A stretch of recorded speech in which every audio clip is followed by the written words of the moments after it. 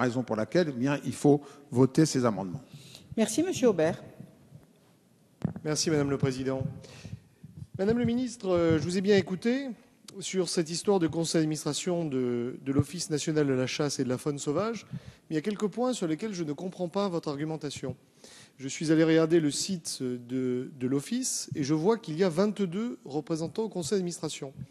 4 représentants de l'État, 7 représentants de fédérations départementales de la chasse, 2 présidents d'associations de chasseurs, 2 personnes qualifiées dans le domaine de la chasse, deux représentations d'organisations professionnelles agricoles, un représentant d'organisations de propriétaires ruraux, deux représentants d'organismes de protection de la nature et deux représentants du personnel. Ce qui fixe donc, quand on dit la moitié, à 11.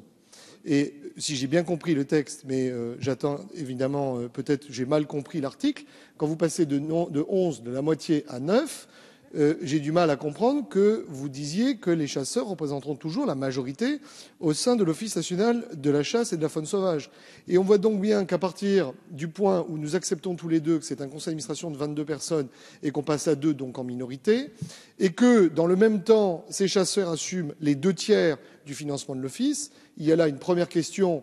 que je vous pose, qui est est-ce qu'il n'y a pas une forme d'injustice à donner la minorité de vote à des gens qui représentent la majorité du financement. Et enfin, je vous pose une deuxième question, peut-être un petit peu plus tendancieuse, c'est qu'à partir du moment où cet office national a refusé de rentrer dans l'agence de la biodiversité, n'est-ce pas un moyen, en prenant la majorité au sein de l'office national et en la donnant à d'autres, d'arriver un jour à vos fins, c'est-à-dire de faire voter ce, ce même conseil d'administration pour qu'il réintègre dans quelques années l'agence de la biodiversité, malgré l'opposition farouche des chasseurs. Voilà deux points sur lesquels, Madame le Ministre, j'aimerais évidemment que vous puissiez nous clarifier euh, votre argumentation.